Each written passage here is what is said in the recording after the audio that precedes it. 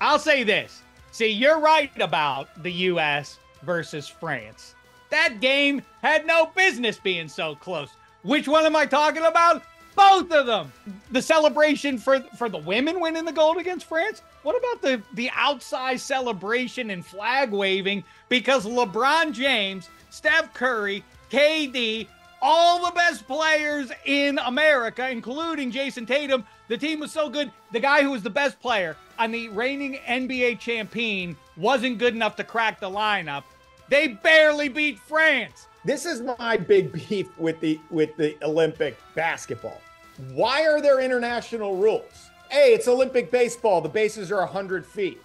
What? No, no, no, no. This is our game. You don't you don't get to That's right. To, like and they're so much more adept at goaltending. They, they know how to do it, right? They know how to wipe the ball off the rim. And then when Wemby just crashed the boards and funnels the ball into the basket, like, what is going on? Who decided that goaltending is fine? This is, you know, our game invented by a Canadian, but it's our game.